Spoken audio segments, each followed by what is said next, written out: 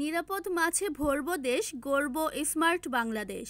এই প্রতিপাদ্যে মাছের পোনা অবমুক্ত, আলোচনা সভা ও পুরস্কার বিতরণ সহ নানা আয়োজনের মধ্য দিয়ে নোয়াখালীতে জাতীয় মৎস্য সপ্তাহের উদ্বোধন করা হয়েছে। এই মৎস্য সপ্তাহের কার্যক্রম চলবে আগামী ত্রিশ জুলাই পর্যন্ত। দিবসটি উপলক্ষে মঙ্গলবার সকালে বেগমগঞ্জ উপজেলা প্রশাসন ও মৎস্য অধিদপ্তরের আয়োজনে উপজেলা পরিষদের কার্যালয়ের সামনে থেকে একটি র্যালি শুরু হয়ে প্রধান সড়ক প্রদক্ষিণ করে। এরপর উপজেলার দিঘিতে বিভিন্ন প্রজাতির মৎস্যপোনা অবমুক্ত করা হয়। পরে আলোচনা সভা ও বিভিন্ন ক্যাটাগরিতে সফল মৎস্য চাষীদের পুরস্কার বিতরণ করা হয়। উক্ত আলোচনা সভায় প্রধান অতিথি হিসেবে বক্তব্য রাখেন Mamunur Rashid Kiran MP. Arfin Shakil NAN TV Noakhali.